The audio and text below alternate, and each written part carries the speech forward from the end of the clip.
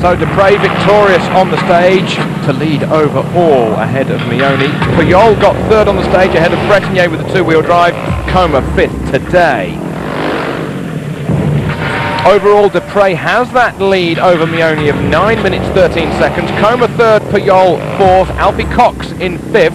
Frétigné with the Yamaha then in sixth ahead of Andy Caldecott, Sala de Azevedo, Chris Blais. Ah, game over nå. Det, Pål Anders Ullevålseter out of the rally, says it's over now. It's the most stupid thing I've ever done. It was completely flat and then I fell. Au départ ce matin, j'étais parti 7ème, 12 minutes derrière. euh, Still saying, euh, this c'est vrai que morning I je pense que ça va started être une bonne 7th, 12 minutes euh, behind général. Avant toute chose, et c'est sûr qu'avant les, les minutes. Good day et for avant me. le classement, Before c'est vrai que talking j'ai about trouvé ranking vraiment- though, I had j'ai eu des- good vraiment des feeling bonnes on the sensations bike dès le at the début, beginning of the je me suis stage. senti bien sur la It moto, et really je pense did que, feel very euh, good. mon Dakar, I il a think that commencé my Dakar aujourd'hui, really déjà. now does begin Et today. je suis- je suis vraiment I'm happy content to de- see this de voir stage que j'ai because it réussi was à attaquer relatively comme- easy comme- for me comme without je voulais, being assez facilement, tired and sans, sans puiser vraiment trop dans worn mes out. forces I've, et- I've got a good et, feeling. euh, et vraiment bonne bonne sensation donc ça c'est ça fait déjà plaisir. Bueno, he salido primero y la verdad es que cuando either he tomado Esteve saying, when I started this morning, I was alone for a long, long time. When we got to the camel grass, he only caught me and then we rode together. era muy blanda, ¿no? Before He ido solo CP2, it was very technical though, through the dunes with very soft sand for Eh, us. me ha cogido Fabrizio. Hemos hecho las dunas eh, It los was- dos it was solos, una far vez él too delante, difficult, otra but vez yo. For us, Los so I dos nos don't know hemos what it's going to be plantado un like par for de the veces en la cars. duna.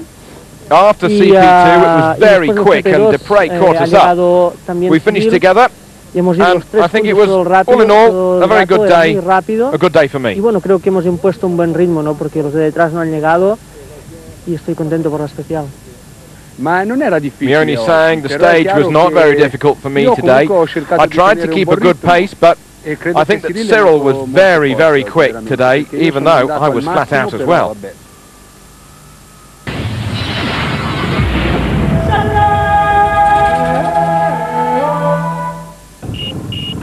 For this Dakar, all competitors are equipped with the brand new Sentinel system that helps bikes and cars to be passed by quicker vehicles from behind.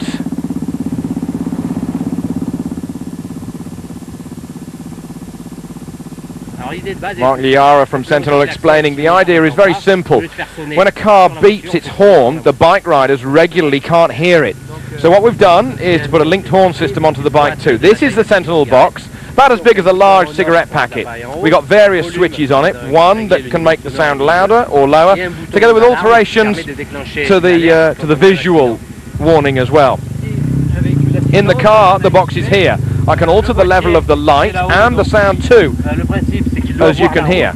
Je on s'aperçoit ici donc le flash lumineux lâché au volume le minimum, médium, maxi, et ici j'ai le buzzer qui envoie le son. Bon, So for example, we're coming up behind a bike, I beep the horn and at the same time we transmit to the bike that I'm here to enable me to pass safely. Et on passe. Voilà, donc dépassement en toute sécurité, on va dire, grâce à la transmission à distance de, de. Obviously when the system gets close it links up. This is the reason why the Sentinel is on the machines this year. In the past riders have been hit by encroaching vehicles and Sentinel hopes to eliminate this in the future. The second advantage is that in case of a fall, you can put the system on constant to prevent another crash.